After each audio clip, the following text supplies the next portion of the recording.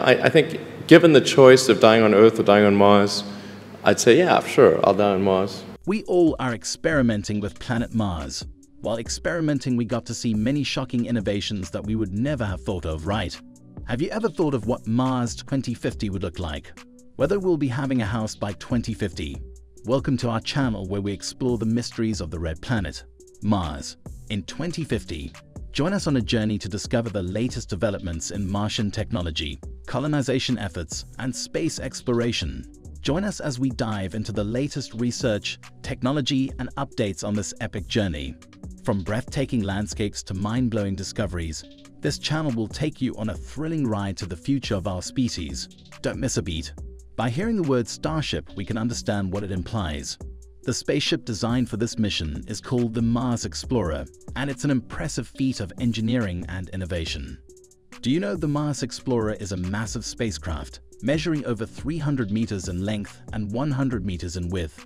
It's powered by a state-of-the-art propulsion system, which uses a combination of nuclear and electric propulsion to achieve speeds of up to 100,000 kilometers per hour. The ship is also equipped with advanced navigation and communication systems, which allow it to communicate with Earth and other spacecraft in real time. Moreover, the Mars Explorer is designed to carry a crew of up to 50 people, including scientists, engineers, and astronauts. The living quarters are spacious and comfortable, with individual cabins for each crew member, as well as communal areas for dining, recreation, and exercise. The ship also features a fully equipped laboratory, where scientists can conduct experiments and research the Martian environment.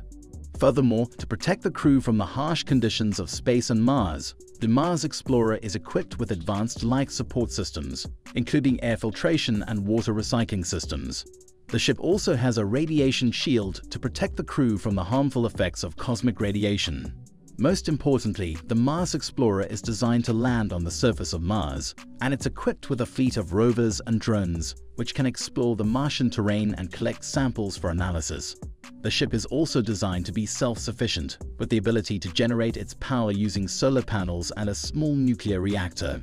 Its advanced technology and capabilities are sure to capture the attention of audiences worldwide as they follow the mission to Mars with excitement and anticipation. We know that Mars is known for its dust storms, which can last for weeks and even months. These storms can cover the entire planet and can be extremely dangerous for humans and their equipment. Dust storms have been known to damage solar panels and other vital systems on spacecraft and rovers. We'll explain how these storms are formed and what precautions humans take to stay safe. To begin with, let's explore the extreme temperatures on Mars. The planet has a thin atmosphere, which means it can't trap heat as effectively as Earth. As a result, temperatures on Mars can range from a bone-chilling minus 195 degrees Fahrenheit to a scorching 70 degrees Fahrenheit in some areas. We'll discuss how these temperature fluctuations impact the Martian environment and why it's so difficult to maintain a livable habitat on the planet.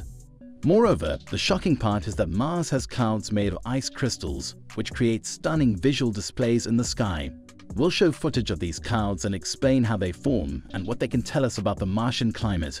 While this is still a far-off dream, scientists are studying ways to manipulate the planet's atmosphere and climate to make it more habitable for humans.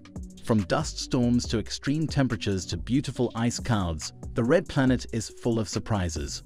As humans continue to explore and study Mars, we're sure to uncover even more fascinating weather phenomena in the years to come. Did you know? Nuke Mars is a controversial proposal that has been suggested as a potential solution for terraforming Mars, a process of transforming the Martian environment into a habitable one for human beings. The idea was first introduced by Elon Musk, the CEO of SpaceX, during an interview in 2015. Additionally, the concept of Nuke Mars involves detonating a series of nuclear bombs on the surface of the planet to release its frozen carbon dioxide into the atmosphere, creating a greenhouse effect that would warm the planet and help it retain heat. This, in turn, would cause the Martian ice caps to melt and release water vapor, which would further enhance the greenhouse effect and allow liquid water to exist on the planet's surface. Furthermore, while the idea of nuke Mars has been met with criticism and concerns about the potential risks of such a mission, it has also generated a great deal of interest and discussion among scientists, engineers, and enthusiasts alike. The proposal has the potential to captivate audiences with its controversial nature, as well as the possibility of transforming an entire planet. It is important to note that the Nuke Mars proposal is still in the realm of speculation and has yet to be seriously considered or pursued by any organization or government. Nevertheless, the idea of Nuke Mars is a fascinating and thought-provoking concept that could capture the attention of a wide range of audiences. However, it is important to approach the topic with caution and acknowledge the potential risks and uncertainties involved. You all will be amazed by knowing that in the year 2050, the human race had made significant progress in the field of space exploration and had established a permanent settlement on the planet Mars. One of the most impressive structures on the Martian surface was the large, transparent domes that have been constructed to provide living quarters for the settlers. These domes will be massive, transparent structures that will serve as living quarters for the settlers. They will be built using advanced materials that can withstand the harsh Martian environment, including extreme temperatures, high levels of radiation, and low atmospheric pressure. Moreover, the domes will be pressurized to provide a comfortable living environment for the settlers, complete with breathable air, temperature control, and artificial lighting. They will also be equipped with advanced life support systems that will recycle waste products and produce oxygen, water, and food for the settlers. 4B, the domes will be arranged in clusters, each with its unique design and purpose. Some will be dedicated to agriculture, providing the source of fresh produce for the settlers, while others will be used for research and development, housing laboratories, and workshops for scientific experimentation and technological innovation. The dome was also used to film exciting events, such as the first human-led expedition to a nearby Martian canyon, or the arrival of a new shipment of supplies from Earth. These events were broadcast live to the channel's audience, creating a sense of excitement and immediacy that kept viewers engaged. Furthermore, the domes will be interconnected by a network of tunnels and walkways, allowing the settlers to move freely between them without the need to venture outside into the harsh Martian environment.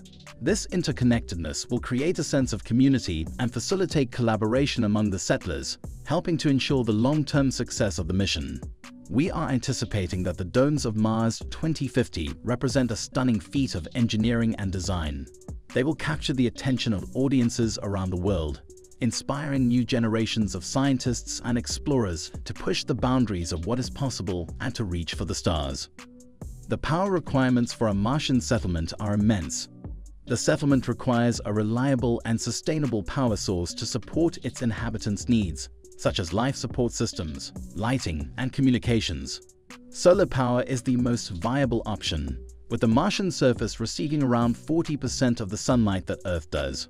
However, this still requires the deployment of massive solar arrays that can withstand the harsh Martian environment and generate enough energy to support the colony. Moreover, the power requirements for interplanetary transportation are also significant. Traveling to Mars requires tremendous amounts of energy to overcome the planet's gravitational pull and navigate the vast distances of space. This power could come from advanced propulsion systems, such as nuclear or fusion-powered engines, or even from innovative methods, such as solar sails or beamed energy. Apart from this, the power aspect of a Martian settlement also includes the potential for new technologies that could revolutionize energy production on Earth.